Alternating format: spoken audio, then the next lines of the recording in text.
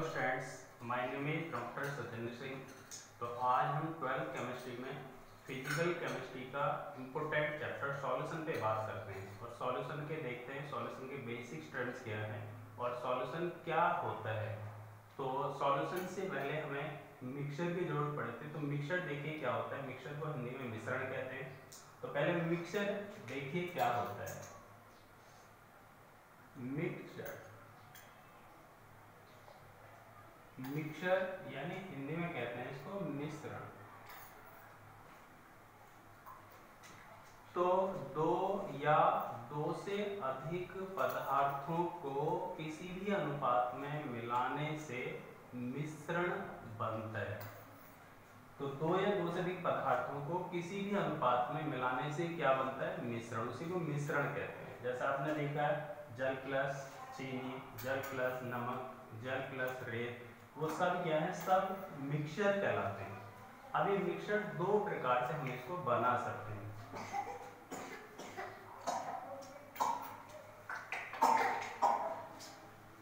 तो मिक्सचर को हम मिक्सचर दो प्रकार का होता है। होमोजीनस मिक्सचर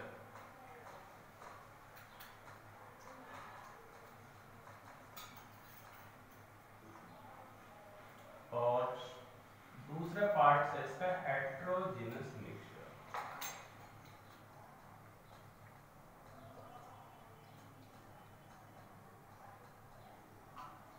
हेट्रोजिनस मिक्सचर तो होमोजेनस मिक्सचर यानी मिक्सचर टू टाइप है mixture are two types homogeneous mixture heterogeneous mixture तो पहले बात करते हैं होमोजेनस मिक्सचर तो होमोजेनस मिक्सचर क्या है देखिए? होमोजेनस मिक्सचर ये है।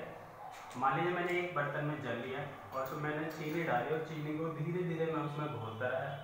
तो एक टाइम ऐसे आएगी कि जल के अंदर चीनी समान रूप से यानी समान मात्रा में उसमें घुल जाएगी। और घुलने के बाद चीनी हमें उसमें नहीं दिखाई देती क्यों नहीं दिखाई देती है?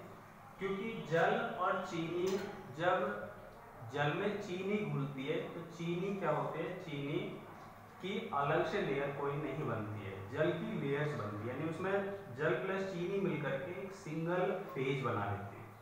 तो उसमें क्या होती है? ओनली केवल जल की फ़ेज़ बनती है। चीनी की उसके अंदर कोई फ़ेज़ नहीं होती है। तो ऐसी फ़ेज़ को हम कहते हैं सिंगल फ़ेज़। तो जब हम किसी भी, मान लीजिए जल में चीनी घोलें, जल में नमक घोलें तो चीनी और नमक की जल के अंदर जब कोई फ़ेज़ नहीं बनती है ओनली जल की फ़ेज़ बने, यानी एक ही फ़ेज़ बन जाए, और उसमें घुलने वाला पदार्थ, उसके पार्टिकल्स बहुत छोटे हो जाए जो हमें दिखाई ना दे। यानी उसी को कहते हैं होमोजेनस मिक्सचर होमोजेनस मिक्सचर क्या है? एक ट्रू सॉल्यूशन है। होमोजेनस मिक्सचर जिस पदार्थ को हम बोलते हैं, वो कंप्लीटली समान मात्रा में उसके अंदर घुल जाता है। तो होमोजेनस मिक्सचर है। होमोजेनस मिक्सचर क्या है? ट्रू सॉल्यूशन अब ये क्या है? होमोजेनस मिक्सचर को हम ये भी कह सकते हैं यूनिफॉर्म सॉल्यूशन है। यूनिफॉर्म क्या है? जैसा स्कूल में यूनिफॉर्म होती है सभी बच्चों की तो सारे बच्चे सेम दिखाई देते हैं तो यूनिफॉर्म यानी जो सेम हो जाए, सारे सेम हो जाए। तो यूनिफॉर्म ये। हेट्रोजिनस क्या है? हेट्रोजिनस मान लीजिए मैंने जल में रेत घोला है। रेत जल में समान मात्रा में नहीं घुलता है और रेत जल के अंदर अलग से अपनी फ़ेज़ भी बना लेता है। हमें जल की फ़ेज़ अलग दिखाई देती है और रेत की फ़ेज़ हमें अलग दिखाई देती है। यानी वहाँ दो फ़ेज़ बनेगी जल की फ़ेज़ है और रेत की फ़ेज़ तो इसका मतलब वो सेम मात्रा में नहीं घुला है, उसे कहते हैं हेट्रोजीनस मिक्सचर तो हेट्रोजीनस मिक्सचर में क्या होता है? हेट्रोजीनस मिक्सचर में घुलने वाला पदार्थ समान मात्रा में नहीं घुलता और उसके कणों का आकार बहुत बड़ा होता है, जो देता है तो अब हेट्रोजीनस मिक्सचर हमारे यहाँ हेट्रोजीनस का काम नहीं है। मैन हमारा काम है होमोजेनस मिक्सचर बात करते हैं होमोजेनस मिक्सचर होमोजेनस मिक्सचर ही सॉल्यूशन कहलाता है। तो सॉल्यूशन की परिभाषा कहाँ से निकल के आती है? होमोजेनस मिक्सचर से निकल के आती है। यानी हम सॉल्यूशन को कह सकते हैं solution is a homogeneous mixture solution क्या है? होमोजेनस मिक्सचर और होमोजेनस मिक्सचर क्या है? होमोजेनस मिक्सचर है homogeneous mixture is homogeneous mixture यानी दो, या दो से अधिक पदार्थों के समांगी मिश्रण को क्या कहते हैं हम? उसको सॉल्यूशन कहते हैं। Homogeneous mixture is a two and two more substance is called solution तो होमोजेनस मिक्सचर क्या है? सॉल्यूशन है। यानी ये इसमें जो पार्टिकल है ट्रू सॉल्यूशन वाले हैं और इसमें कोलाइडल पार्टिकल और सस्पेंशन वाले पार्टिकल्स हो सकते हैं। तो अब आते हैं सॉल्यूशंस तो सॉल्यूशंस के एग्जांपल्स देखते हैं, देखिए। सॉल्यूशन के एग्जांपल्स क्या क्या हैं? फ़र्स्ट एग्जांपल लेते हैं। जैसे जल प्लस चीनी। तो जल में जब हम चीनी बोलते हैं, चीनी जल के अंदर समान मात्रा में घुल जाती है। और जब समान मात्रा में घुल जाती है तो जल और प्लस चीनी मिलकर के कैसा मिश्रण बना लेते हैं? समांगी मिश्रण, यानी होमोजेनस मिक्सचर समांगी मिश्रण।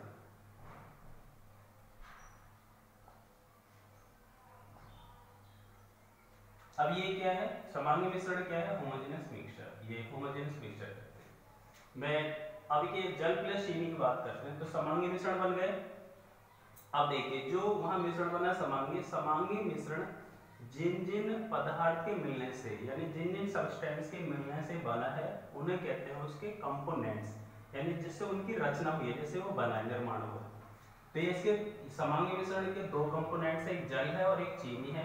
तो इन दोनों में से जिसकी मात्रा ज़्यादा होगी, उसे कहते हैं विलायक, यानी सॉल्वेंट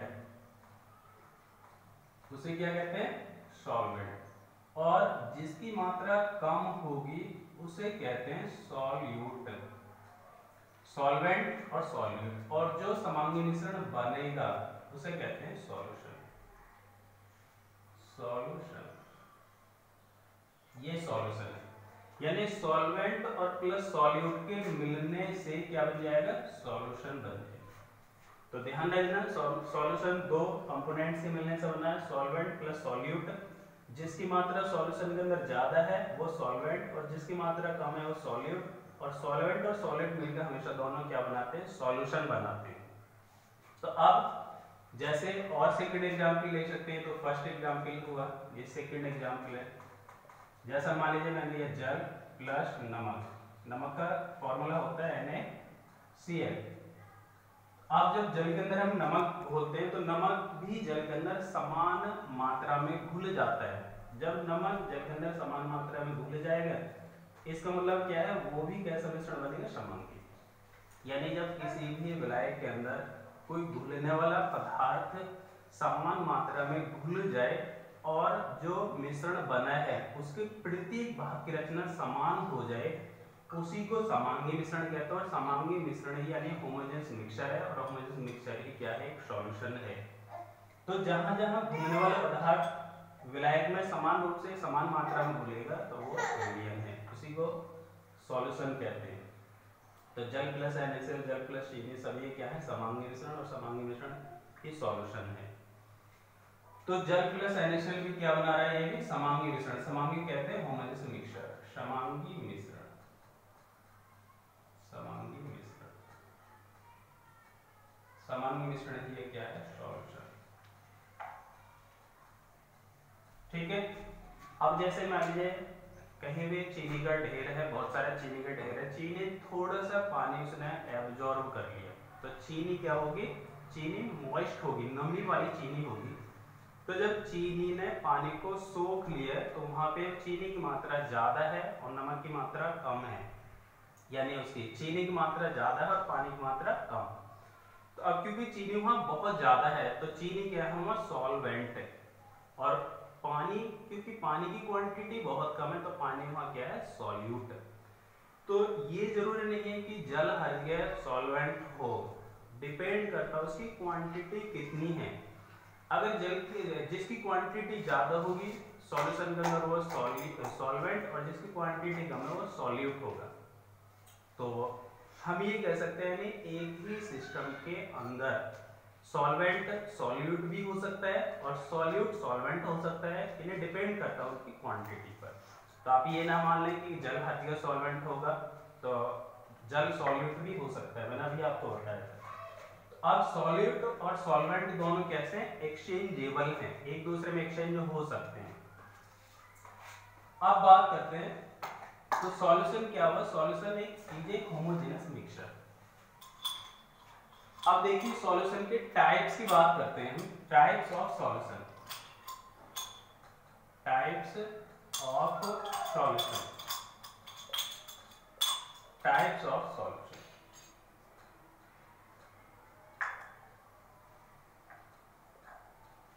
तो टाइप्स ऑफ़ सॉल्यूशंस यानी बेसिस है, इसको टू बेसिस पे इसके दो पार्ट्स बन एक तो सॉल्यूट और सॉल्वेंट की फ़िज़िकल के फ़िज़िकल स्टेट के आधार पर है और दूसरे हैं सॉल्यूट की कंसंट्रेशन के आधार पर। तो पहले बात करते हैं, यानी इसके टू पार्ट्स हो गए, ये वाले। एक तो फ़िज़िकल स्टेट यानी on the basis on the basis of physical state on the basis of physical state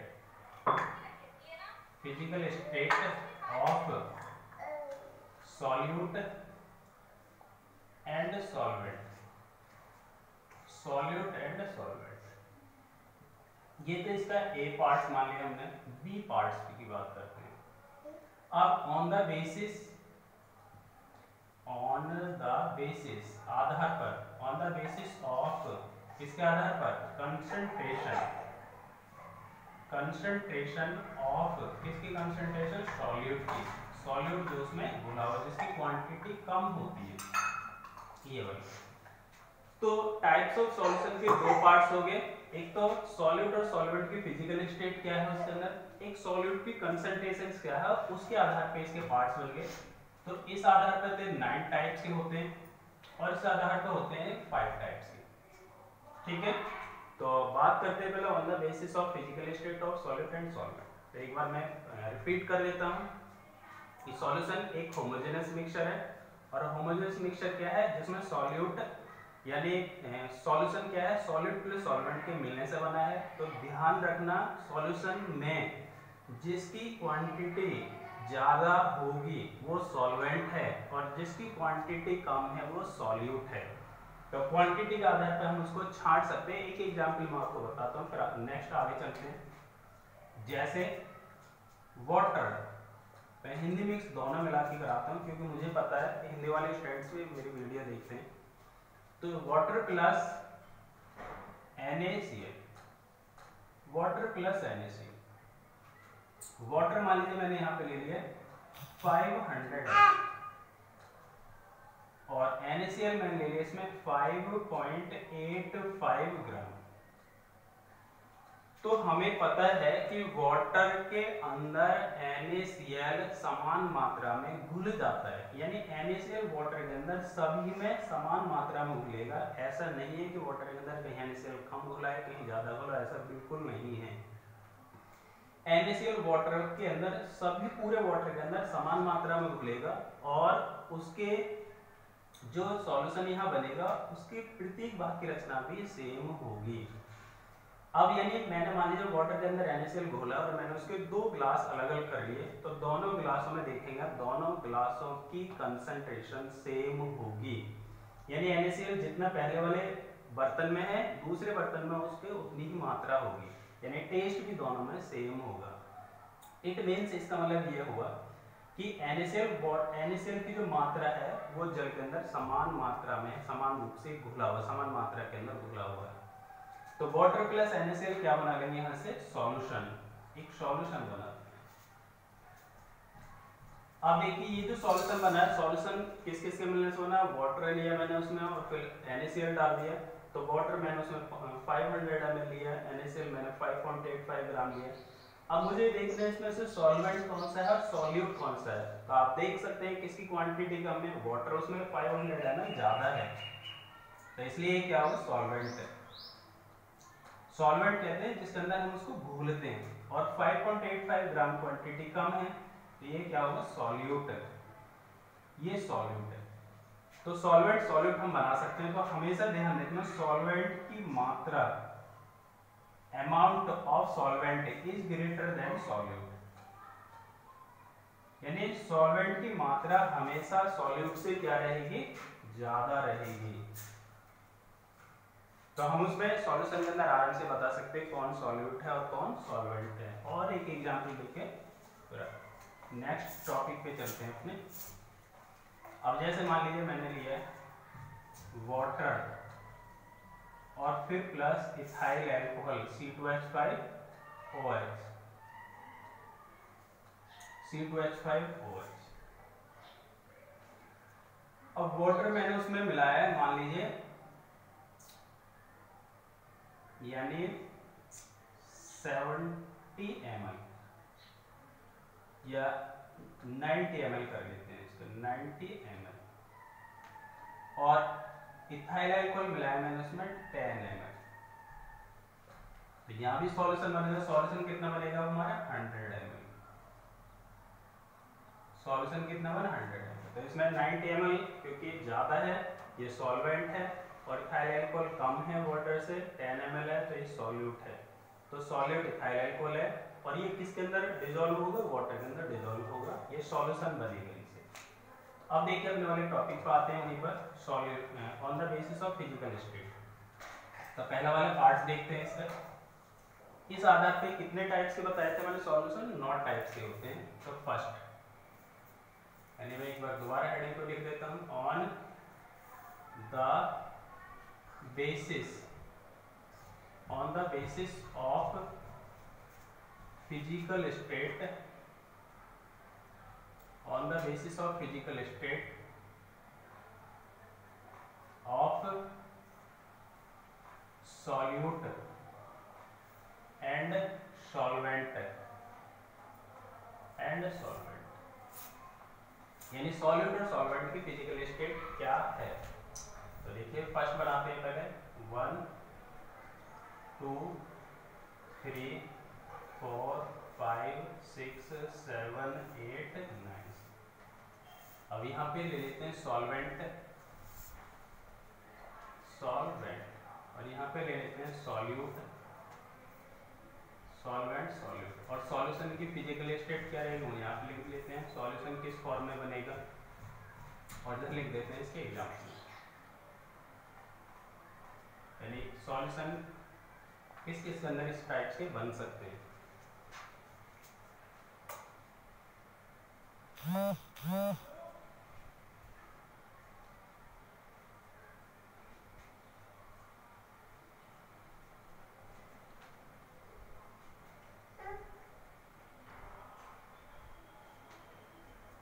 ठीक है? तो पहले सॉल्वेंट होते हैं। वो सॉल्वेंट बहुत इजी है। सॉल्यूशन की, क्योंकि सबिस्टेंस की मोस्टली फ़िज़िकल स्टेट थ्री होती है फोर फाइव चलिए तो पहले आते हैं सॉलिड तीन सॉलिड बना दीजिए। सॉलिड तीन लिक्विड लिक्विड और ये ऐसे तीन बनेंगे गैस और ये तो सॉलिड को क्रम वाइज चलने जो solid liquid gas solid liquid gas ये भी सॉलिड लिक्विड और गैस फिर सॉलिड रिपीट होता रहेगा इसलिए सॉलिड फिर क्या आएगा? लिक्विड फिर क्या है इसके बाद गैस ठीक है?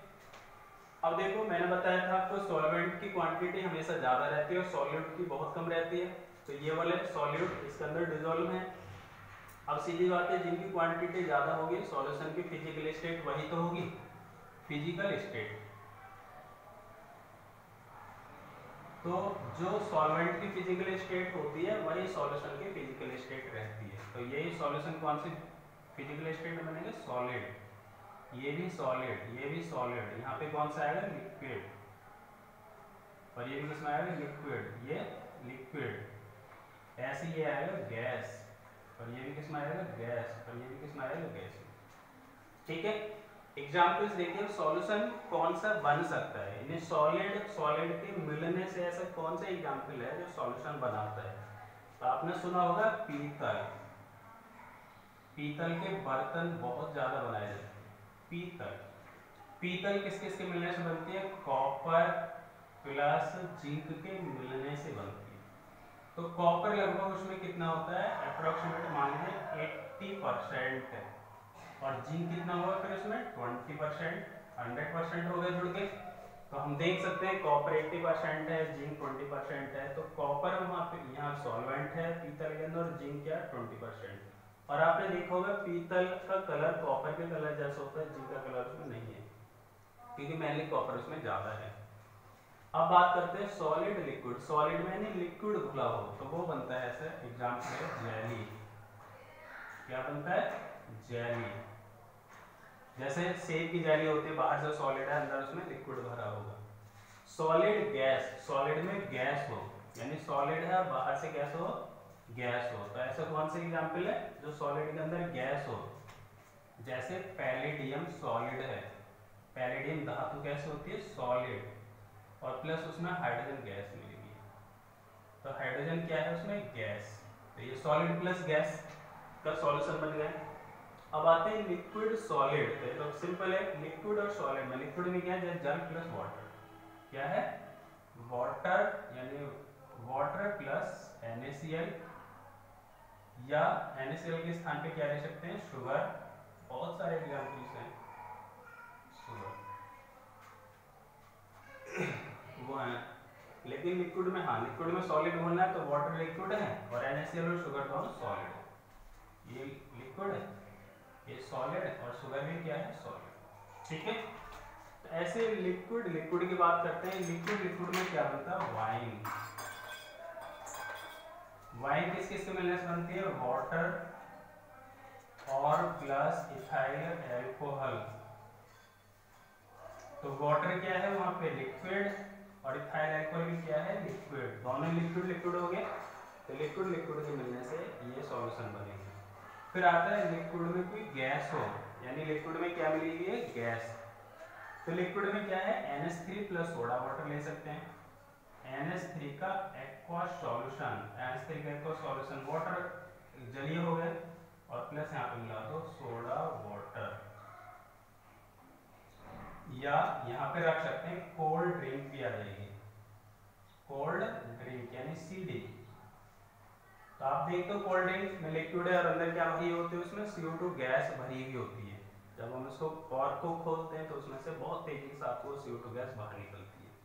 तो कोल्ड ड्रिंक के अंदर CO2 का वर्क ये है कि उसको खराब होने से बचाती है, क्योंकि CO2 कीटाणुनाशक गैस है। उसके अंदर CO2 यानी CO2 कोल्ड ड्रिंक को इंसेक्टिसाइड उनको कीटाणु द्वारा खराब होने से बचाती है सी अब आते हैं गैस में सॉलिड घुला हुआ तो वायु प्लस कपूर, यानी एयर प्लस कपूर। एयर प्लस कपूर आ जाएगा कपूर तो फिर है गैस और लिक्विड, यानी गैस में लिक्विड घुला हुआ, गैस की क्वांटिटी ज़्यादा है, उसके अंदर क्या घुला हुआ? लिक्विड घुला हुआ हो। तो वायु प्लस नमी, यानी एयर क्या है? गैस और प्लस नमी। नमी क्या है? मॉइस्ट यानी वाटर हो। एयर क्या है? गैस। और मॉइस्ट नमी क्या है? वाटर यानी जल। ऐसे गैस और गैस, ये एयर होती क्या होती है? एयर एयर क्या है? उसमें नाइट्रोजन गैस है ऑक्सीजन गैस है अदर गैस है। नाइट्रोजन गैस क्योंकि वहाँ ज़्यादा है ऑक्सीजन गैस कम है तो नाइट्रोजन गैस वहाँ पे सॉल्वेंट और ऑक्सीजन गैस क्या है? वहाँ सॉल्यूट तो ये आपके सामने नाइन टाइप के सॉल्यूशंस हैं। तीन सॉलिड तीन लिक्विड और तीन गैस एग्जाम्पल्स उनके सामने हैं। और जो सॉल्वेंट की फ़िज़िकल स्टेट है सॉल्यूशन की फ़िज़िकल स्टेट वही है। सॉल्यूट हमेशा ध्यान रखना है। सॉल्वेंट के अंदर घुले होते हैं, इनकी क्वांटिटी कम होती है और इनकी क्वांटिटी ज़्यादा होती है। तो उसी हिसाब से सॉल्यूशन की फ़िज़िकल स्टेट सॉल्वेंट वाली होती है। तो सॉल्यूशन के नाइन टाइप्स हुए पूरे। मोर, अब हमारे सिलेबस में ना जाते लिक्विड वाले हैं, ये वाले हैं हमारे सिलेबस में। ये लिक्विड बस, यही हमारे मतलब सिलेबस में है। तो सारे इंपॉर्टेंट लेकिन ये मेनली इनका यूज़ ज़्यादा होता है। न्यूमेरिकल से ही पे ज़्यादा बनते हैं। तो बी टाइप्स करते हैं। बी टाइप्स क्या है? देखिए।